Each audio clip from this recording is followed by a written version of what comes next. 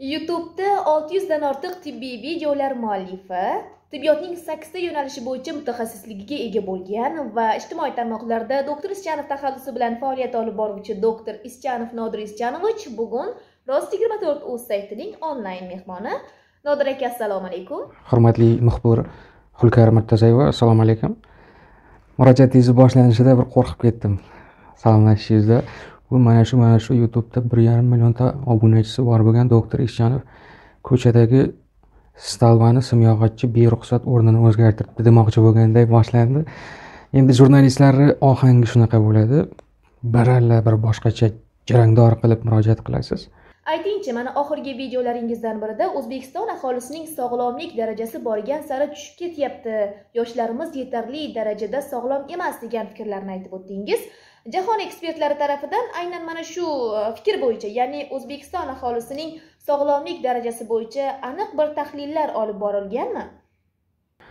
birinchi savolingizga keladigan bo'lsak o'zbekistonni salomatligini jahon sog'liqni saqlash tashkilotlari tomonidan va har qanday mana shu sog'liqni saqlash tizimi bo'yicha ishlaydigan mutaxassislar tomonidan xususan yevropalik chet ellik ayniqsa rivojlangan mamlakatlar germaniya amerika kabi davlatlar xodimlari uzluksiz ravishda to o'zbekiston mustaqillikka chiqqanidan buyon hozirga qadar o'rganib kelmoqda. Hamisha biz chet ellik olimlarni har qanday soha bo'yicha nazari ostidamiz. Masalan aytganda ikki minginchi yillardan to o'n yil davomida ikki ming o'ninchi yillarga qadar germaniyalik olimlar turli xil vaziyatlarni meditsinani o'rganib yevropeyskaya обсерватория по системам и политике здравоохранения uyushmasi xodimi mana shu ikki ming o'ninchi yillarda bernard richel degan olim o'zbekistonni salomatligi haqida katta tahlillar natijasi kitoblarini nashr qilib keldi. O'n yil davomida ular o'zbekistonni o'rganib meditsinani hamma sohasini barcha ikir chikirlarigacha statistik ko'rsatkichlar bilan namoyon qilingan kitob qo'llanmalarini hamda maqolalarini nashr qilib internet olamiga joylagan. Bundan tashqari oxirgi o'n yilda ikki ming o'ninchi yildan to hozirgi ikki ming yigirmanchi yilga qadar world health organization ya'ni jahon sog'liqni saqlash tashkiloti tizimi xodimlari mana shu jahon sog'liqni saqlash tizimi qo'llab quvvatlashi asosida o'zbekistonni salomatligini tubdan o'rganib tahlil qilib natijalarini e'lon qilib kelmoqda. Masalan hozir sizlarga jahon sog'liqni saqlash tashkiloti tomonidan o'zbekistonda olib borilgan izlanishlar tekshiruvlar tahlillar natijasini ikki ming yigirmanchi yilda taqdim qilgan natijalaridan bir parchasini o'qib berishim mumkin. O'zbekistonda yoshlar o'rtasida yurak qon tomir kasalliklari ko'p uchrashi sababi bilan va semizlik natijasida bundan tashqari nosog'lom ovqatlanish turmush tarzi natijasida yuqumli bo'lmagan kasalliklardan ayniqsa yurak qon tomir kasalliklari xususan arterial gipertoniya bundan tashqari yurak ishemik kasalliklari judayam yuqori pog'onalarga chiqib qolganligi bundan tashqari rak hamda bepushtlik kasalliklari yoshlar o'rtasida ham uchrashlari ko'payganligi va hazm a'zolar kasalliklari ortib borayotganligini bildirib o'tganlar. Bularni natijasida o'zbekiston hamda jahon sog'liqni saqlash tashkiloti va всемирная организация здравоохранения yakuniy mana shu xulosaga kelib ikki ming yigirma birinchi yildan to ikki ming yigirma beshinchi yilga qadar mana shu asosiy beshta yo'nalish bo'yicha judayam katta ishlarni olib borish kerakligi ya'ni birinchi sog'lom turmush tarzini xususan ovqat va shunga tenglashtiruvchi mahsulotlarni sifatini qat'iy nazoratga olinishi kerakligini ikkinchidan ortiqcha vazn va gormonal kasalliklarga olib keluvchi omillarni yo'qotish va kamaytirish bilan ishlash kerakligi hamda zararli odatlar xususan chekish va spirtli ichimliklarni qabul qiluvchilar sonini kamaytirish kerakligiga e'tibor berish bundan tashqari jismoniy harakatni faollashtirish uchun sog'lom turmush tarzini sport bilan shug'ullanish hamda harakatni gipodinamiyani oldini olish choralarini qilish va beshinchidan noto'g'ri davo choralari hamda medikamentoz zararlanishlarni kamaytirish kerakligiga katta ahamiyat qaratish uchun ular mana shu o'ntaga yaqin asosiy mavzularni olishdida. Mana endi mana shu yigirmanchi yildan buyon shu ishlarga bel bog'laganmiz deb shular asosida qadam tashlanmoqda deganday ko'rsatdi. Bunday axborot vositalarida hamda saytlarida chiqishlar qildilar. Ko'ramiz endi. Shuningdek, siz o'sha video materialingizda o'zbekistonda ommaviy axborot vositalari tarafidan tinmay reklama qilayotgan ijtimoiy tarmoqlarda reklamalar to'lib ketgan alhadaya va shunga o'xshash dori vositalarining qadog'ida yozilgan foydali xususiyatlari safsatadan boshqa narsa emasligini aytdingiz. Mana shu safsatalar haqida o'zbekistondagi hamkasblaringiz tibbiyot vakillari nima uchun hech narsa deyishmaydi? Hech qanday aholini ogohlantiruvchi fikr mulohazalar aytishmaydi video materiallar chiqarishmaydi yoki bu ularning burchlari safiga kirmaydimi? Boya siz aytib o'tdingizku savolingizda vrachlar bilmaydimi bu dorilarni qalbaki ekanligini yolg'on safsata ekanligini bilmaydimi bilsa ham nimaga jim turadi deganingizni asosiy javobi ular nahang baliqlarga yem bo'lishdan qo'rqadi yoki buni natijasida ular ham daromad qilib turibdi. Chiqish qilib murojaat qilinib turganlarni esa murojaatlari umuman kopeyka bo'lib turibdi. Masalan mana taniqli professor zarifboy ibodullayevich ham shu aynan reklamalar soxta ekanligini televideniyalarda radiolarda ijtimoiy sahifalarda reklama qilib turgan dorilari bu darajada bularni aytib turganiday emas tibbiyotda isbotlanmagan faqat reklama odamlarni aldab turganligini aytgan murojaatini ozgina joyini eshittiraman asrda yashayapmiz yigirma birinchi asrda yashayapmizmi? Qani dalillarga asoslangan tibbiyot? Qani zamonaviy tibbiy asbob uskunalarni e, qo'llab o'zbeklarni davolash qilinglar bunaqa reklamalarni. Bitta dorini ushlab olib turli soha mutaxassisi chiqib unga davo bunga davo deb so'zlab yotibsizlar. Oralarida fan nomzodlari ham bor. Uyalmaysizlarmi ozgina uyat ham kerakku buni beshinchi kurs tibbiyot talabasi ham tushunadigan kasallikni bitta dorini ushlab olib hamma narsaga davo deb so'zlab yotibsizlar. Har yarim soatda har soatda qaysidir biologik faol moddani olasizda unga davo bunga davo deb reklama qilaverish bu juda uyatku. Natija bermayapti.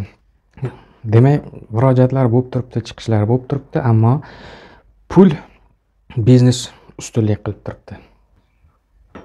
Avvalambor o'zbekistonda sog'liqni saqlash tizimi bo'yicha xususiy klinikalar konkurensiyani noto'g'ri tushungan holda yoki noto'g'ri amal qilgan holda olib bormoqdada raqobatni raqobat deganda bu narigi klinikani obro' e'tiborini yo'qotib hamda yoki bo'lmasam yolg'on safsatalarni o'zlarida bor deb ko'rsatib o'zlarini mana shu уровенini mavqeini shu usulda tiklab olishga urinmoqdada.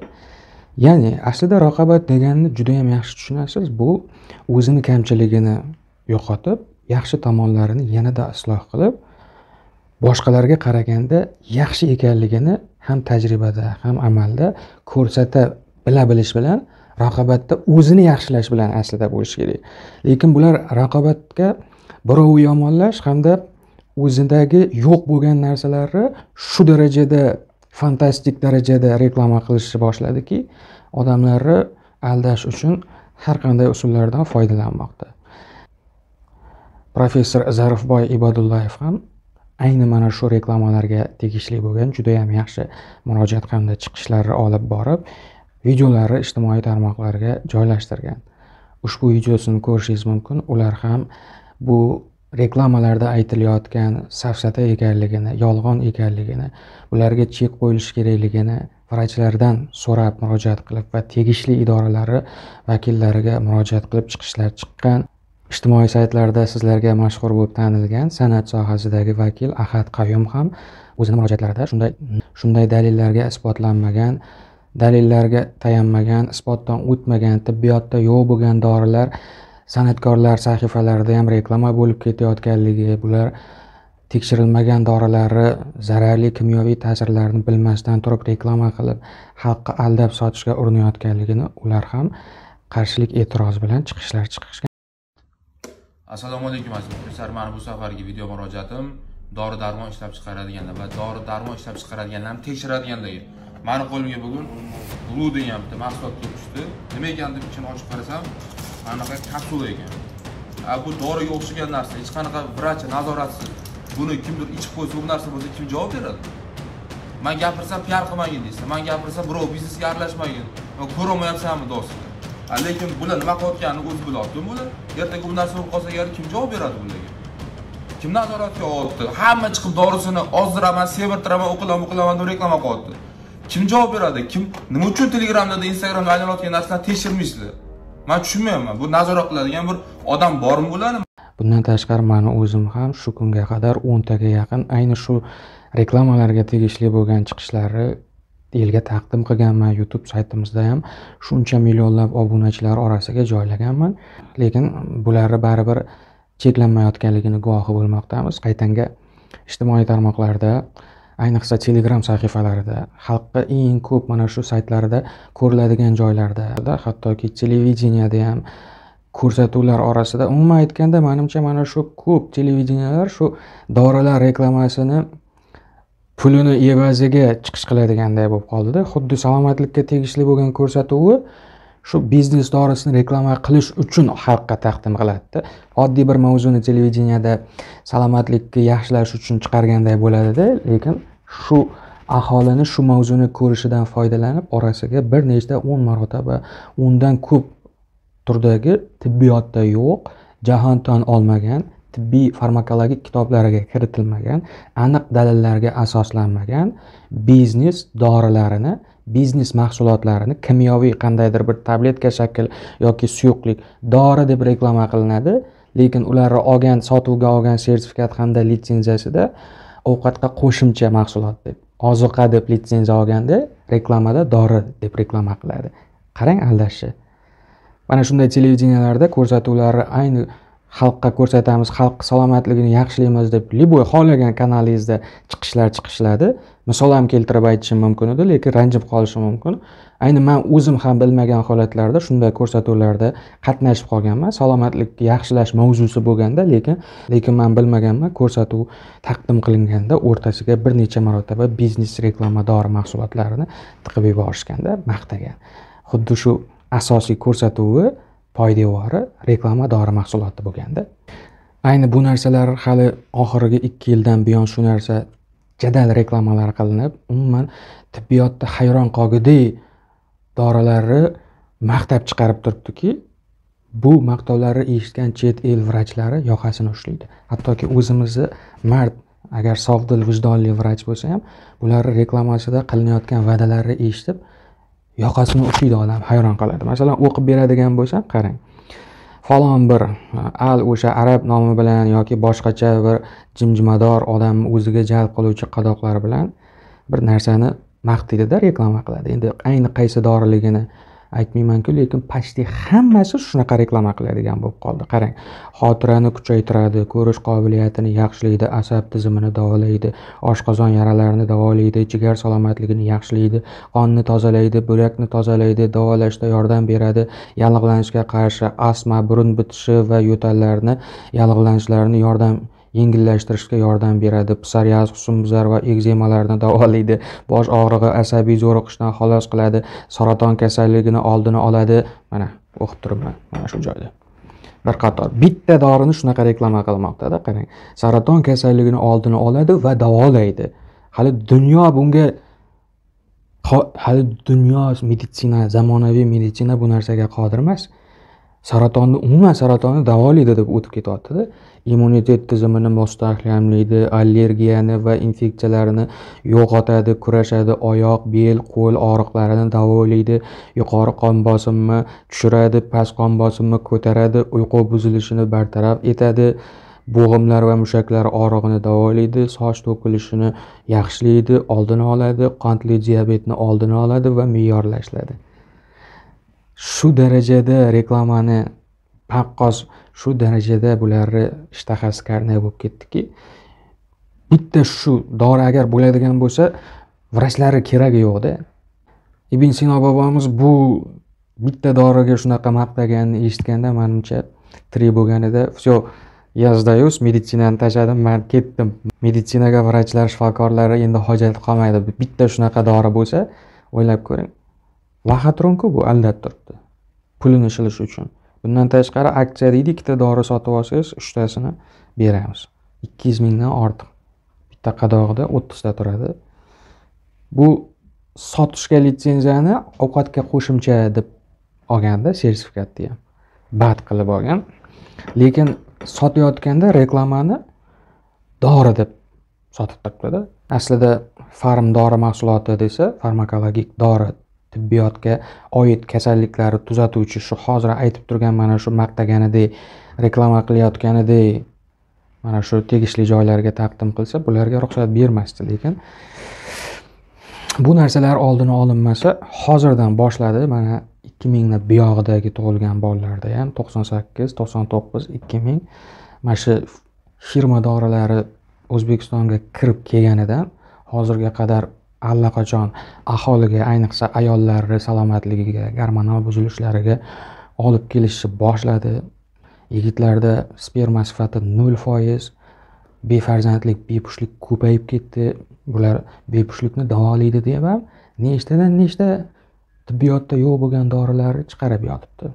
Umuman vrachni tavsiyasisiz to'g'ridan to'g'ri aptekaga borib shu mahsulotlarni olib iste'mol qiladi.